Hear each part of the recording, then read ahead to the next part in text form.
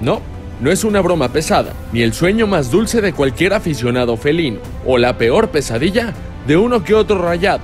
Los Tigres de Monterrey preguntaron por el flamante refuerzo del Real Madrid, Eden Hazard, en el no tan lejano 2014. Así es, el conjunto de la Universidad Autónoma de Nuevo León habría levantado el teléfono para preguntar por el atacante belga, quien ahora está destinado a portar el mítico 7 merengue. El equipo felino se habría puesto en contacto con la directiva del Chelsea, equipo de Hazard en ese entonces, para preguntar por el de Bélgica, en busca de lanzar un auténtico bombazo dentro de la Liga MX. Claro, que pronto les quitaron cualquier ilusión.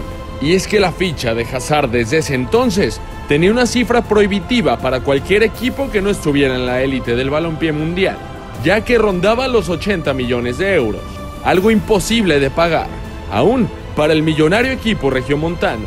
Un año después, Tigres sí consiguió un fichaje bomba, aunque de menor calibre, siendo un francés de apellido Guignac el elegido y que al final le resultó muy rentable ya que el francés ha ganado cuatro títulos de Liga MX y es el máximo goleador histórico de la institución, junto a Tomás Boy.